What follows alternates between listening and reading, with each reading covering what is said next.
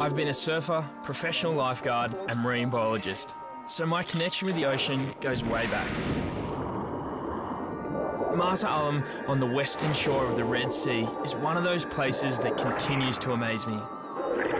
Holidays are about seeing new places and learning new things, like the iconic wonders you find not too far away in Luxor. Construction of the Karnak temples began 4,000 years ago. Day to day life here is fascinating. You see deeply rooted cultural influences everywhere. This is made from alabaster stone.